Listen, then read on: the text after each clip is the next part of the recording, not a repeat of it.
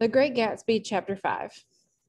When I came home to West Egg that night, I was afraid for a moment that my house was on fire. Two o'clock and the whole corner of the peninsula was blazing with light, which fell unreal on the shrubbery and made thin, elongated glints upon the roadside wires. Turning a corner, I saw that it was Gatsby's house, lit from tower to cellar.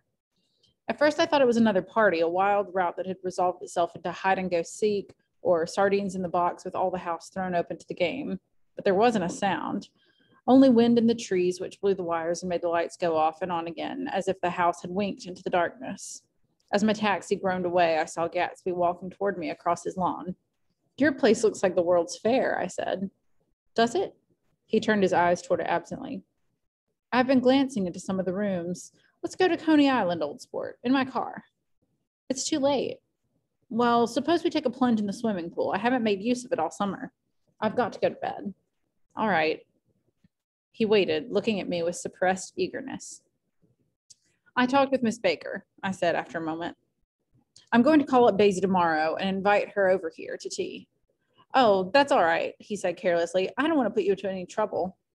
What day would suit you? What day would suit you? He corrected me quickly. I don't want you, I don't want to put you in any trouble, you see. How about the day after tomorrow? He considered for a moment, then with reluctance, I want to get the grass cut, he said. We both looked at the grass. There was a sharp line where my ragged lawn ended and the darker, well kept expanse of his began. I suspected that he meant my grass. There's another little thing, he said uncertainly and hesitated. Would you rather put it off for a few days? I asked. Oh, it isn't about that. At least he fumbled with a series of beginnings. Why, I thought, why, look here, old sport, you don't make much money, do you? Not very much. This seemed to reassure him, and he, he continued more confidently. I thought you didn't, if you'll pardon my. You see, I carry on a little business on the side, a sort of sideline, you understand. And I thought that if you don't make very much, you're selling bonds, aren't you, old sport? Trying to. Well, this would interest you. It wouldn't take up much of your time, and you might pick up a nice bit of money. It happens to be a rather confidential sort of thing. I realize now that under different circumstances, that conversation might have been one of the crises of my life, but because the, the offer was obviously and tact, tactlessly for a service to be rendered, I had no choice except to cut him off there. I've got my hands full, I said. I'm much obliged, but I couldn't take on any more work. You wouldn't have to do any business with Wolfsheim. Evidently, he thought that I was shying away from the connection mentioned at lunch, but I assured him he was wrong. He waited a moment longer, hoping I'd begin a conversation, but I was too absorbed to be responsive, so he went unwillingly home. Excuse me. The evening had made me lightheaded and happy. I think I walked into a deep sleep as I entered my front door. So I didn't know whether or not Gatsby went to Coney Island or for how many hours he glanced into rooms while his house blazed gaudily on. I called up Daisy from the office next morning and invited her to come to tea. Don't bring Tom, I warned her. What? Don't bring Tom. Who is Tom? She asked innocently. The day agreed upon was pouring rain. At 11 o'clock, a man in a raincoat dragging a lawnmower tapped at my front door and said that Mr. Gatsby had sent him over to cut my grass. This reminded me that I had forgotten to tell my Finn to come back, so I drove into West Egg Village to search for her among soggy, whitewashed alleys and to buy some cups and lemons and flowers. His Finn, if you guys will remember, he said he had a Finnish woman to like keep house for him a little bit. The flowers were unnecessary, for at two o'clock, a greenhouse arrived from Gatsby's with innumerable receptacles to contain it. An hour later, the front door opened nervously, and Gatsby, in a white flannel suit, silver shirt, and gold colored tie, hurried in. He was pale, and there were dark signs of sleeplessness beneath his eyes. Is everything all right? He asked immediately. The grass looks fine, if that's what you mean. What grass? He inquired blankly. Oh, the grass in the yard. He looked out the window at it, but judging from his expression, I don't believe he saw a thing. Looks very good, he remarked vaguely. One of the papers said they thought the rain would stop about four. I think it was the journal. Have you got everything you need in the shape of, of, of tea? I took him into the pantry where he looked a little reproachfully at the Finn. Together, we scrutinized the 12 lemon cakes from the delicatessen shop. Will they do? I asked. Of course, of course, they're fine. And he added hollowly, Old sport. The rain cooled about half past three to a damp mist through which occasional thin drops swam like dew. Gatsby looked with vacant eyes through a copy of Clay's Economics, starting at the Finnish tread starting at the Finnish tread that shook the kitchen floor and peering toward the bleared windows from time to time as if a series of invisible but alarming happenings were taking place outside. Finally, he got up and informed me in an uncertain voice that he was going home. Why is that? Nobody's coming to tea. It's too late. He looked at his watch as if there was some pressing demand on his time elsewhere. I can't wait all day. Don't be silly. It's just two minutes to four. He sat down miserably as if I'd pushed him, and simultaneously there was the sound of a motor turning into my lane. We both jumped up, and a little harrowed myself, I went into the yard. Under the dripping bare lilac trees, a large open car was coming up the drive. It stopped. Daisy's face, tipped sideways beneath a three cornered lavender hat, looked out at me with a bright, ecstatic smile. Is this absolutely where you live, my dearest one? The exhilarating ripple of her voice was a wild tonic in the rain. I had to follow the sound of it for a moment, up and down with my ear alone before any words came through. A damp streak of hair lay like a dash of blue paint across her cheek, and her hand was wet with glistening drops as I took it to help her from the car. Are you in love with me? She said low in my ear. Or why did I have to come alone? That's the secret of Castle Rackrent. Tell your chauffeur to go far away and spend an hour. Come back in an hour, Ferdy. Then in a grave murmur, his name is Ferdy. Does the gasoline affect his nose? I don't think so, she said innocently. Why? We went in. To my overwhelming surprise, the living room was deserted. Well, that's funny, I exclaimed. What's funny? She turned her head as there was a light, dignified knocking at the front door. I went out and opened it.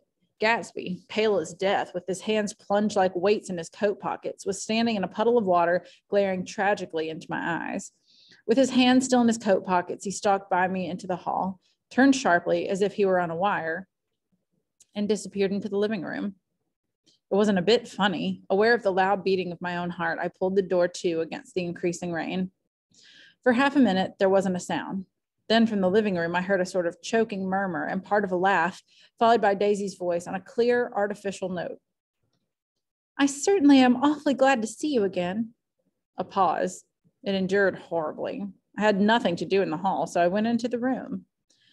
Gatsby, his hands still in his pockets, was reclining against the mantelpiece in a strained counterfeit of perfect ease, even of boredom.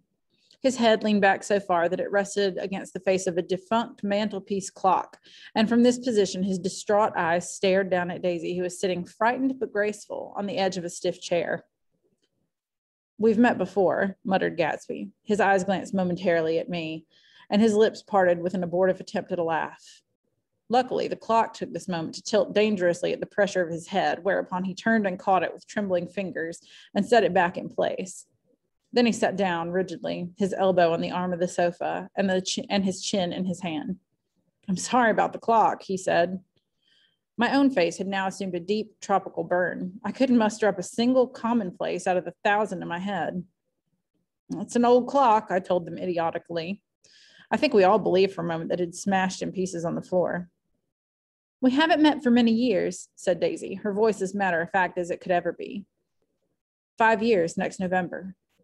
The automatic quality of Gatsby's answer set us all back. Excuse me one moment.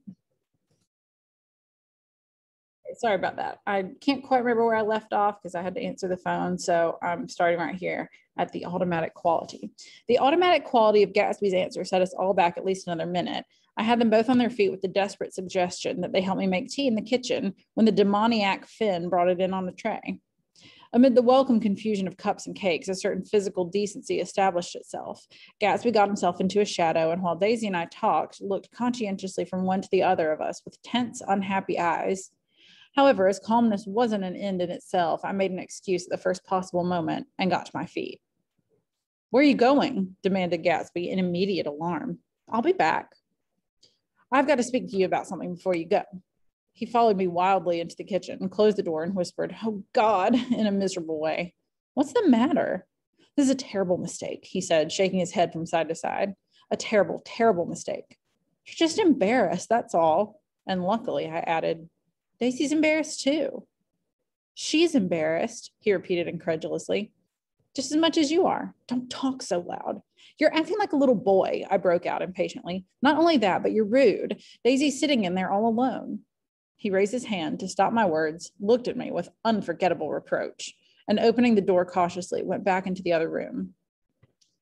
I walked out the back way, just as Gatsby had when he had made his nervous circuit of the house half an hour before, and ran for a huge black knotted tree whose massed leaves made a fabric against the rain. Once more it was pouring, and my irregular lawn, well shaved by Gatsby's gardener, abounded in small muddy swamps and prehistoric marshes. There was nothing to look at from under the tree except Gatsby's enormous house, so I stared at it like Kant at his church steeple for half an hour. A brewer had built it early in the period craze, a decade before, and there was a story that he'd agreed to pay five years' taxes on all the neighboring cottages if the owners would have their roofs thatched with straw. Perhaps their refusal took the heart out of his plan to found a family.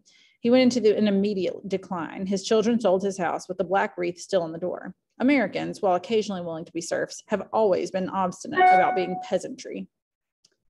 After half an hour, the sun shone again, and the grocer's automobile rounded Gatsby's drive with the raw material for his servant's dinner. I felt sure he wouldn't eat a spoonful. A maid began opening the upper windows of his house, appeared momentarily in each, and leaning from a, from a large central bay, spat meditatively into the garden. It was time I went back. While the rain continued, it seemed like the murmur of their voices, rising and swelling a little, now and then with gusts of emotion. But in the new silence, I felt that silence had fallen within the house too. I went in after making every possible noise in the kitchen, short of pushing over the stove, but I don't believe they heard a sound. They were sitting at either end of the couch, looking at each other as if some question had been asked or was in the air, and every vestige of embarrassment was gone. Daisy's face was smeared with tears, and when I came in, she jumped up and began wiping at it with her handkerchief before a mirror. But there was a change in Gatsby that was simply confounding. He literally glowed. Without a word or gesture of exultation, a new well being radiated from him and filled the little room. Oh, hello, old sport, he said, as if he hadn't seen me for years. I thought for a moment he wasn't going to shake. I thought for a moment he was going to shake hands. It stopped raining. Has it?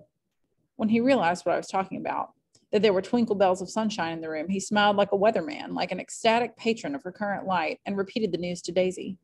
What do you think of that? It stopped raining. I'm glad, Jay. Her throat, full of aching, grieving beauty, told only of her unexpected joy. I want you and Daisy to come over to my house, he said. I'd like to show her around. You're sure you want me to come? Absolutely, old sport. Daisy went upstairs to wash her face. Too late, I thought, with humiliation of my towels while Gatsby and I waited on the lawn. My house looks well, doesn't it? He demanded. See how the whole front of it catches light. I agreed that it was splendid. Yes. His eyes went over it, every arch door and square tower. It took me just three years to earn the money that bought it. I thought you inherited your money. I did, old sport, he said automatically, but I lost most of it in the big panic, the panic of the war. I think he hardly knew what he was saying, for when I asked him what business he was in, he answered, That's my affair before he realized that it wasn't the appropriate reply. Oh, I've been in several things, he corrected himself. I was in the drug business and then I was in the oil business, but I'm not in either one now. He looked at me with more attention. Do you mean you've been thinking over what I proposed the other night? I'm pausing and like hopefully we'll be able to get to this point in uh, in class and we will have already read this and addressed this. But he's being very evasive about what he actually does.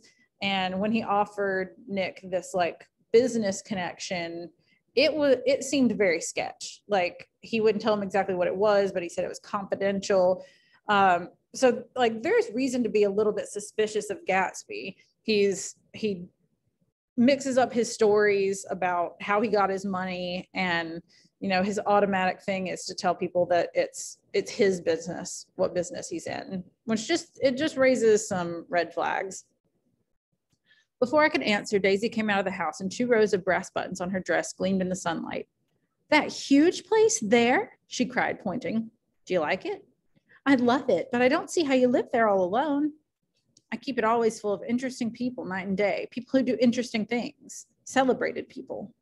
Instead of taking the shortcut along the sound, we went down the road and entered by the big postern, with enchanting murmurs, Daisy admired this aspect or that of the feudal silhouette against the sky, admired the gardens, the sparkling odor of jonquils, and the frothy odor of hawthorn and plum blossoms, and the pale gold odor of Kiss Me at the Gate.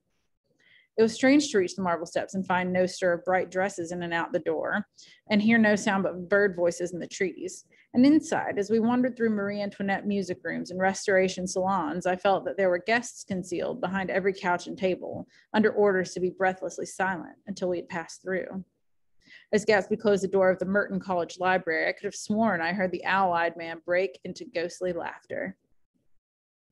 We went upstairs through period bedrooms swathed in rose and lavender silk and vivid with new flowers, through dressing rooms and pool rooms and bathrooms with sunken baths, intruding into one chamber where a disheveled man in pajamas was doing liver exercises on the floor. It was Mr. Klipspringer, the boarder. I had seen him wandering hungrily about the beach that morning. Finally, we came to Gatsby's own apartment, a bedroom and a bath and an Adam study, where we sat down and drank a glass of some chartreuse he took from a cupboard in the wall. He hadn't once ceased looking at Daisy, and I think he revalued everything in his house according to the measure of response it drew from her well loved eyes. Sometimes, too, he stared around at his possessions in a dazed way, as though in her actual and astounding presence, none of it was any longer real.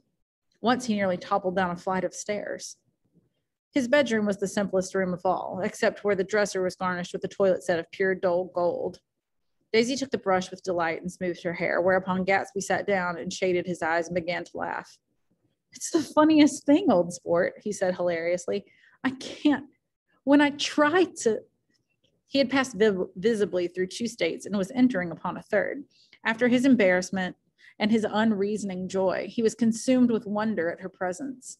He had been full of the idea so long, dreamed it right through to the end, waited with his teeth set, so to speak, at an inconceivable pitch of intensity.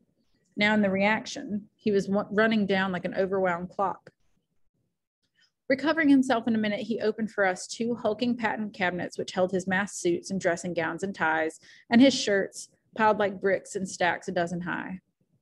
I've got a man in England who buys me clothes. He sends over a selection of things at the beginning of each season, spring and fall. He took out a pile of shirts and began throwing them one by one before us. Shirts of sheer linen and thick silk and fine flannel, which lost their folds as they fell and covered the table in many colored disarray. While we admired, he brought more, and the soft, rich heap mounted higher shirts with stripes and scrolls and plaids and coral and apple green and lavender and faint orange with monograms of Indian blue. Suddenly, with a strained sound, Daisy bent her head into the shirts and began to cry stormily. They're such beautiful shirts, she sobbed, her voice muffled in the thick folds. And it makes me sad because I've never seen such such beautiful shirts before. After the house, we were to see the grounds and the swimming pool and the hydroplane and the midsummer flowers.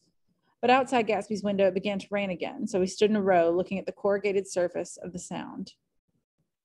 If it wasn't for the mist, we could see your home across the bay, said Gatsby. You always have a green light that burns all night at the end of your dock. Daisy put her arm through his abruptly, but he seemed absorbed in what he just said. Possibly it had occurred to him that the colossal significance of that light had now vanished forever. Compared to the great distance that had separated him from Daisy, it had seemed very near to her, almost touching her. It had seemed as close as a star to the moon. Now it was again a green light on a dock. His count of enchanted objects had diminished by one. And if you guys will remember, um, the first time Nick ever saw Gatsby, he was standing on his dock and just like reaching out towards the green light and we didn't know what that was about. We didn't know at the time that that was daisy's house. Um, so he has just been like this this green light has symbolized her and his hope and this this sort of unreachable dream. And now that he has her right here with him it's sort of um, it's lost its symbolism I began to walk about the rooms, examining various indefinite objects in the half darkness. A large photograph of an elderly man in yachting costume attracted me, hung on the wall over his desk. Who's this? That? That's Mr. Dan Cody, old sport. The name sounded faintly familiar. He's dead now. He used to be my best friend years ago. There was a small picture of Gatsby, also in yachting costume, on the bureau. Gatsby with his head thrown back defiantly, taken apparently when he was about 18. I adore it, exclaimed Daisy. The pompadour. You never told me you had a pompadour or a yacht. Look at this, said Gatsby quickly. Here's a lot of clippings about you. They stood side by side examining it. I was going to ask to see the rubies when the phone rang and Gatsby took up the receiver. Yes. Well, I can't talk now. I can't talk now, old sport. I said a small town. He must know what a small town is. Well, he's no use to us if Detroit is his idea of a small town. He rang off. Come here quick, cried Daisy at the window. The rain was still falling, but the darkness had parted in the west and there was a pink and golden billow of foamy clouds above the sea. Look at that, she whispered. And then after a moment, I'd like to just get one of those pink clouds and put you in it and push you around. I tried to go then, but they wouldn't hear of it. Perhaps my presence made them feel more satisfactorily alone. I know what we'll do, said Gatsby. We'll have Klipspringer play the piano. He went out of the room calling, Ewing, and returned in a few minutes, accompanied by an embarrassed, slightly worn young man with shell rimmed glasses and scanty blonde hair. He was now decently clothed in a sports shirt, open at the neck, sneakers, and duck trousers of a nebulous hue. Did we interrupt your exercises? inquired Daisy politely. I was asleep, cried Mr. Klipspringer in a spasm of embarrassment. That is, I'd been asleep, then I got up. Klipspringer plays the piano, said, G- said Gatsby, cutting him off. Don't you, Ewing, old sport? I don't play well. I don't, I hardly play at all. I'm out of, I'm all out of practice. We'll go downstairs, interrupted Gatsby. He flipped a switch. The gray windows disappeared as the house glowed full of light. In the music room, Gatsby turned on a solitary lamp beside the piano. He lit Daisy's cigarette from a trembling match and sat down with her on a couch far across the room where there was no light save what the gleaming floor bounced in from the hall. When Klipspringer had played the love nest, he turned around on the bench and searched unhappily for Gatsby in the gloom. I'm all out of practice, you see. I told you I couldn't play. I'm all out of practice. Don't talk so much, old sport, commanded Gatsby. Play. In the morning, in the evening, and we got fun. Outside, the window was loud, and there was a faint flow of thunder along the sound. All the lights were going on in West Egg now. The electric trains, men carrying, were plunging home through the rain from New York. Was the hour of a profound human change, and excitement was generating on the air. I don't remember how the rest of the song goes, y'all. One thing sure and nothing sure the rich get rich and the poor get children. In the meantime, in between time. As I went over to say Gatsby, to say goodbye, sorry, I saw that the expression of bewilderment had come back into Gatsby's face as though a faint doubt had occurred to him as to the quality of his present happiness. Almost five years. There must have been moments, even that afternoon, when Daisy tumbled short of his dreams, not through her own fault, but because of the colossal vitality of his illusion. It had gone beyond her, beyond everything. He had thrown himself into it with a creative passion, adding to it all the time, decking it out with every bright feather that drifted his way. No amount of fire or freshness can challenge what a man will, st- will store up in his ghostly heart. Oh, I want to read that sentence again because I stuttered and I think it's beautiful and one of the most famous lines from this book. No amount of fire or freshness can challenge what a man will store up in his ghostly heart. As I watched him, he adjusted himself a little, visibly. His hand took hold of hers, and as she said something low in his ear, he turned toward her with a rush of emotion. I think that voice held him most with its fluctuating, feverish warmth because it couldn't be overdreamed. That voice was a deathless song. They had forgotten me. But Daisy glanced up and held out her hand. Gatsby didn't know me and didn't know me now at all. I looked once more at them, and they looked back at me remotely, possessed by intense life.